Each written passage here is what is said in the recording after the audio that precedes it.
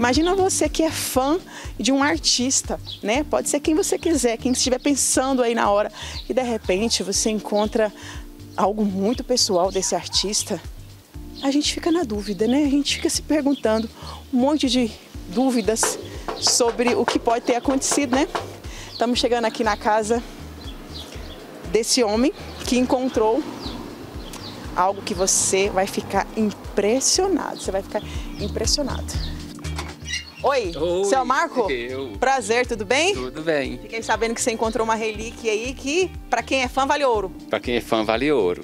É pode verdade. Pode mostrar pra gente? Posso sim. Então vamos lá ver. Porque é o seguinte, fiquei sabendo que, assim, é até estranho ele explicar que ele tem isso.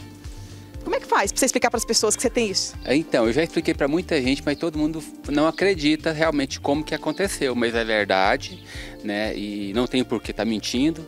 E eu achei essa relíquia, né, da família e uma caçamba de lixo. E aí ninguém entende a sua, a sua história.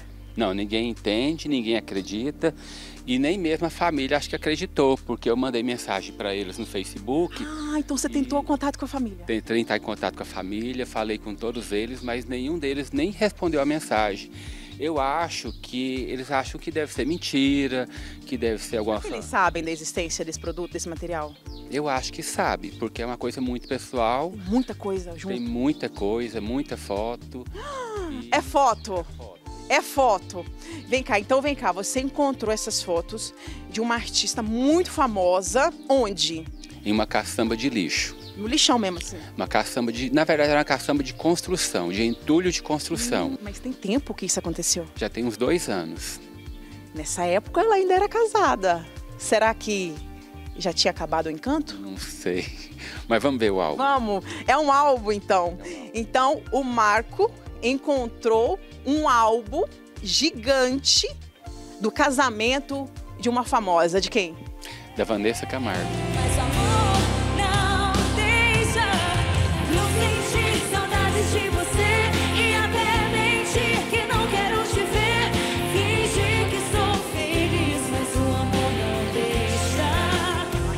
Ó, é um álbum de capa dura, tá um pouco desgastado pelo tempo, um casamento que aconteceu em 2007, durou 17 anos e o casal assumiu que não estava mais junto em maio de 2022. Ou seja, você está com esse álbum antes mesmo do final do casamento, do fim do casamento. Eu achei ele mais ou menos em 2020. O casal estava junto ainda. Tava junto ainda. Então eu achei ele em 2020. Você tentou contato com alguém da família?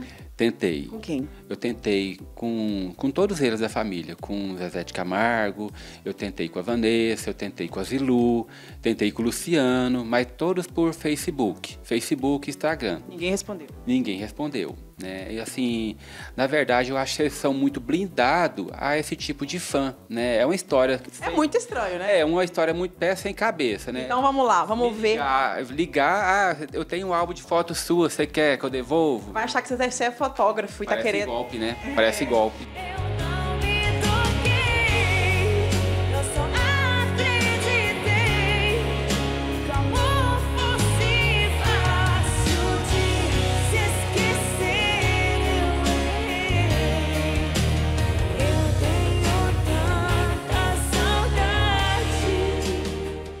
Gente vê aqui ela bonita, com o cabelo chanelzinho, Zezé de Camargo aqui atrás.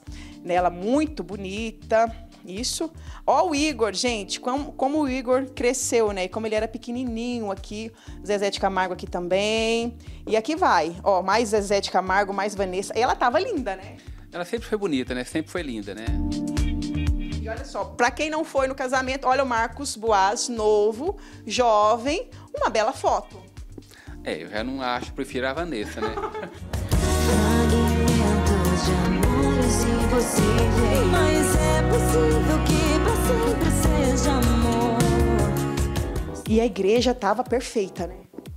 É, intocável, realmente é, tem pecado nenhum, né? Irretocável mesmo, todos os tipos de, de lembranças, de foto, do, decoração, iluminação, foi tudo muito bem elaborado, bem pensado e bem fotografado. Aqui a gente vê mais foto do Igor com as crianças da família, né, que hoje já são moças e rapazes. Aqui o Marcos todo feliz, narizinho empinado, tinha casado muito bem, um casamento que tinha tudo para dar certo, né? Casamento dos sonhos, né?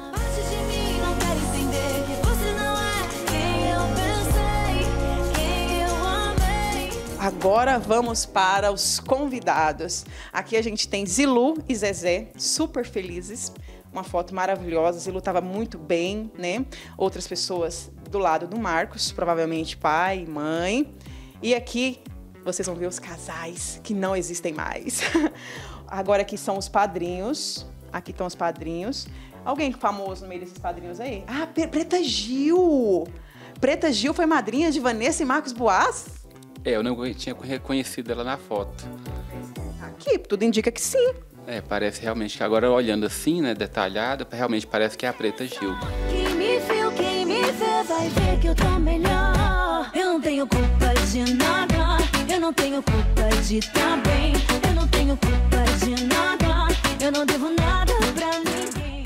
E vamos para os babados. Ó, aqui a gente vê a Adriane Galisteu, que nessa ocasião ela chegou um pouquinho atrasada porque ela estava fazendo uma peça teatral e na época ela namorava o Fábio Faria, que é o atual marido de Patrícia Bravanel. É babado. É babado. E aqui mais a gente vê o Júnior ao lado da Gisele Thier. Isso, eu não achei a Sandy, né? Pois é, será que a Sandy foi convidada? Eu não lembro da A Sandy. Sandy não foi convidada para a festa, não. A Bela mais feia, aqui ao lado do Júnior. Também mais um humorista. Quem mais tá aqui? Ah, gente.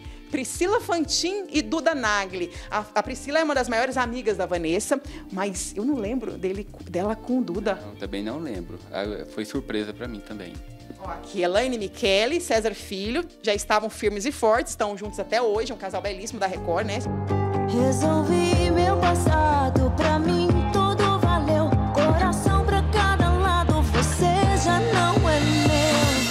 mandei o vídeo desse álbum pra Dai, né, pra Daiane Camargo, que é cantora, faz dupla com a Dai Lara, e ela ficou chocada. Ela disse: mentira! Tava no lixo? Nossa, eu tô chocada.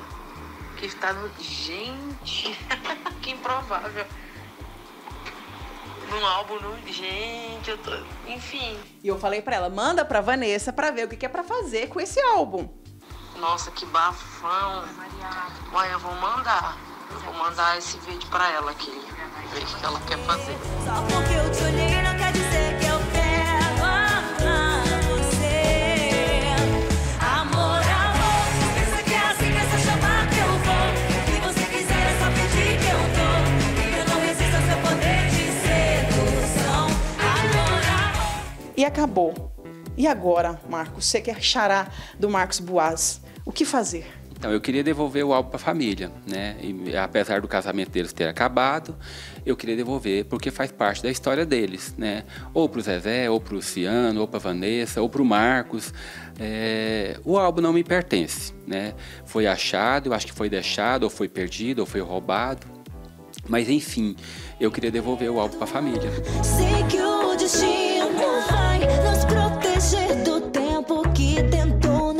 deixar para trás.